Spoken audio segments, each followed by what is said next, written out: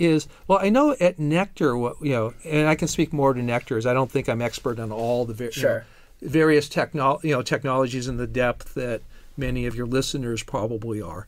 But I know at Nektar that what's been most interesting for us is understanding is that the depth of biology understanding coupled with diagnostics that allow you to engineer for solving specific problems are much much better Mm-hmm. so that you know we can basically understand the biology and now engineer specific drugs. So there's a lot of technologies out there that are sort of you know i call the monkeys and typewriters approach mm-hmm. which is if you you know put enough monkeys together and enough typewriters you can eventually get the bible. Uh-huh. And so a lot of the you know the computational approaches you know you know, you know our kind of let's do a huge number of molecules let's narrow down.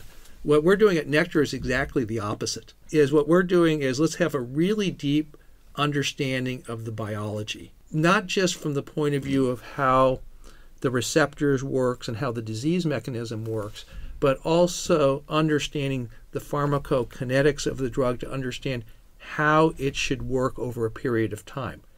And we've you know and our technology allows us to actually using pegylation to engineer molecules that have different release profiles that allow you to you know block certain parts of a molecule have other parts that are active have other parts certain parts that you block then release over time that really allow you to fit to the biological mechanism. Hmm. And i think you know and that's you know an approach that for us you know i think is really is really promising. It may not be for everyone because they don't have necessarily the understanding of how to do the drug release over time that we do but it allows you to do much more exact engineering